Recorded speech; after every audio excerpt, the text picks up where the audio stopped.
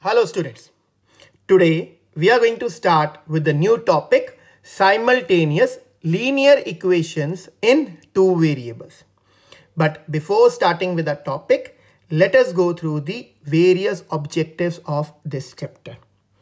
After completing this chapter, students, you will be able to solve the linear equations in two variables by substitution method, elimination method, cross multiplication method and you will be able to solve simple problems by framing appropriate equations.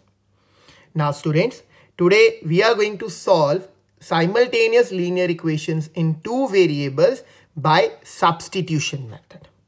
So let us discuss substitution method. Method of elimination by substitution. Now students, as the name of this method is substitution. Now what does substitution means? Substitution means to substitute. Now in this method, we will be given two linear equations in two variables and from these two linear equation we will be finding the value of one variable in terms of the another variable and we will be substituting the value of that variable in the second equation and then that second equation will become a linear equation in one variable and then we'll solve that linear equation in one variable to get the values of both the variables. Now students, let us discuss the substitution method in detail. Now first of all, we are going to discuss the various steps that are involved in solving the substitution method.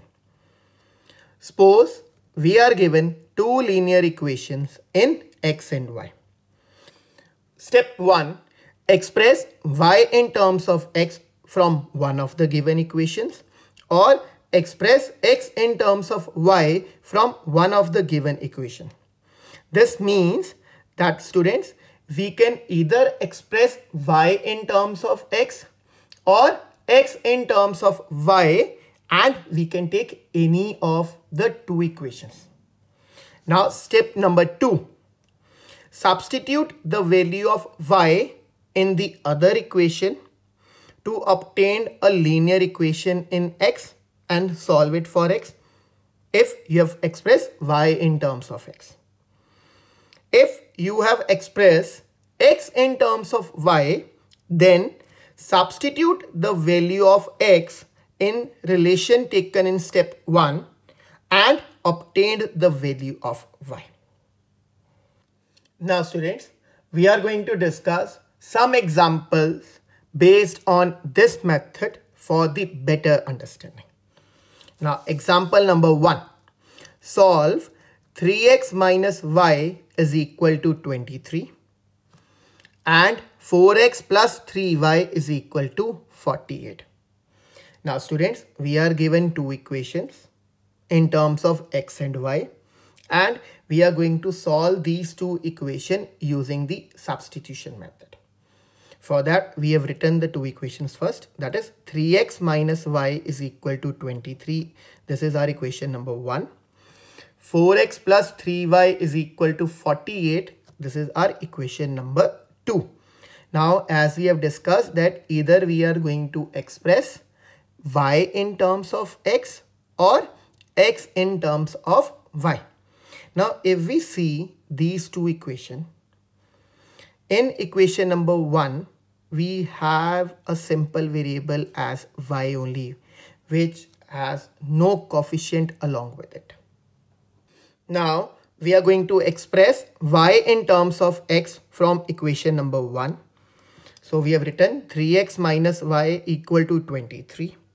So, minus y will come this side and 23 will come this side. So, on shifting, we get 3x minus 23 is equal to y. Now this will become our equation number third and this is our step number one. Now for step number two, we are going to substitute the value of y in the second equation. So on substituting, we get 4x plus 3 bracket 3x minus 23 bracket close is equal to 48. Now this becomes a linear equation in one variable. Now we are going to solve our linear equation in one variable. For that, first of all, we are going to do the arrow method. We get 4x plus 9x minus 69 is equal to 48. Now what is 4x plus 9x? That is 13x. And this minus 69 will be shifted to that side. So we get 13x is equal to 48 plus 69. That is 13x is equal to 117. Now we are going to shift 13 to the other side. On shifting, we get x is equal to 117 upon 13. Now we are going to do the cutting of 117 and 13. So on doing cutting, we get x is equal to 9. So now with this value of x, we are going to find the value of y. Now we are going to substitute the value of x is equal to 9 in equation number third. So on substituting, we get 3 into 9 minus 23 is equal to y. So what is 3 into 9? That is 27 minus 23 is equal to y. On subtracting, we get y is equal to 4. So hence x is equal to 9 and y is equal to 4 are the values of x and y. Now students, let us discuss one more sum for the better understanding. The second example is x plus y equal to 7 and 3x minus 2y equal to 11. Now x plus y equal to 7 is equation number 1. 3x minus 2y equal to 11 is equation number 2. Now we have taken our equation number 1 that is x plus y equal to 7.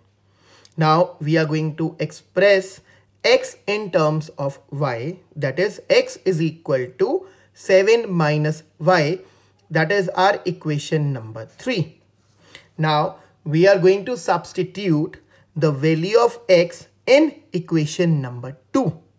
On substituting we get 3 bracket 7 minus y bracket close minus 2y equal to 11.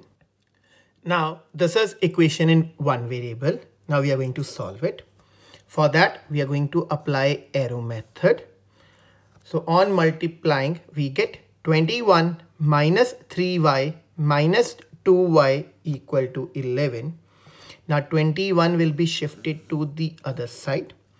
Minus 3y and minus 2y is minus 5y. So minus 5y equal to 11 minus 21. So minus 5y equal to minus 10. So now y will be equal to minus 10 upon minus 5. Now minus minus will get cancelled and we are going to do the cutting of 10 and 5. So on doing cutting we get y is equal to 2. Now we are going to put y equal to 2 in equation number 3, on substituting, we get x is equal to 7 minus 2, which is x is equal to 5. Hence, the solution for our sum is x is equal to 5 and y equal to 2.